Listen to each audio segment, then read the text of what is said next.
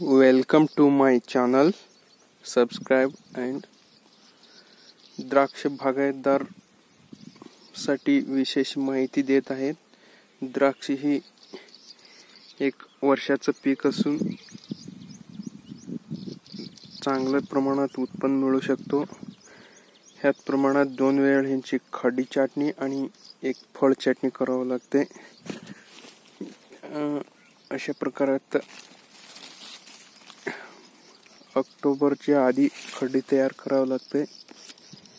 आणि त्यामुळे फळ चटणी ऑक्टोबरला ऑक्टोबरचं पुढं करावं लागते.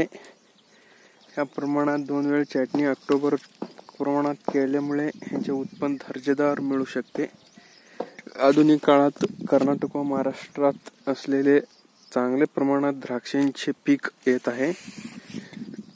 द्राक्षे ही एक कॅश क्रॉप्स म्हणून ओळखले जात आहे. अशा प्रकारात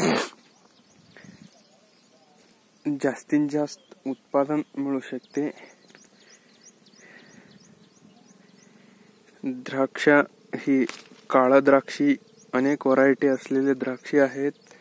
त्यात काळा द्राक्षीले वाईन पण तयार करता येते.